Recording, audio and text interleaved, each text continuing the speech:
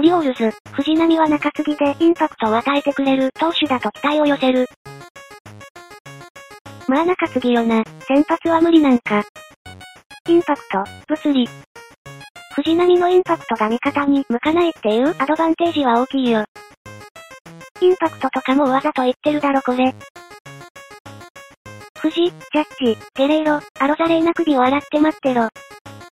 ジャッジはヤンキースタジアムの地下にある投手の投球を完全に再現するマシンで練習してるらしいが、藤の投球は再現不能やろうな。マジでプレイオフで藤波が見れてしまうのか。まだロースターに入ってなかったみたいやけどいつから使われるんやろ。今、オリオールズの中継ぎ事情ってどうなってるんや？今日の試合見てればわかるけど、カノーバテスタ、クローム以外は信用ならんから、リリーフで定着するチャンスはあるぞ。先発はないです。